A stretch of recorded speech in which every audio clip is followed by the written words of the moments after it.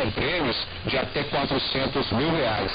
Para participar do sorteio, basta cadastrar no site mfgoiana.cefaz.gov.br barra site e ao somar 100 reais em compras é gerado um bilhete eletrônico.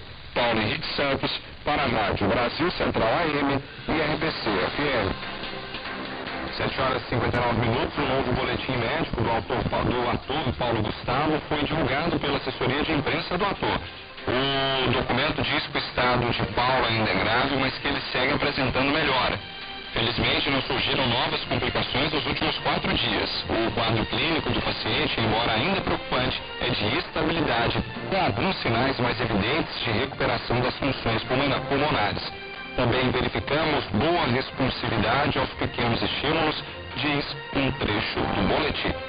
8 horas em ponto, estamos encerrando mais uma edição do Mundo em Sua Casa, que teve a apresentação de Paulo Henrique Santos.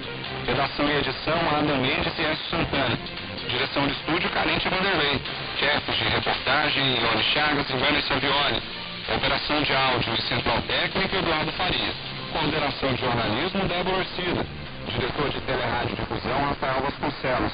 E presidente da Agência Brasil Sral, Reginaldo Júnior. Mundo em Sua Casa fica por aqui. A todos uma excelente terça-feira. E amanhã o Mundo em Sua Casa está de volta às 7 horas em ponto. Bom dia a todos.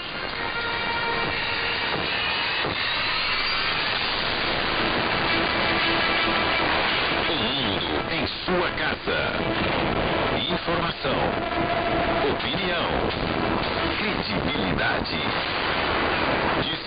a sábado, sete da manhã, na RDC FM 90,1, AM 1270. Agência Brasil Central. Agora a integração é total. A maior inovação do jornalismo. Ousadia, seriedade, opinião e muito debate. Aconteceu em Goiás, no Brasil e no mundo. A vida pode mudar.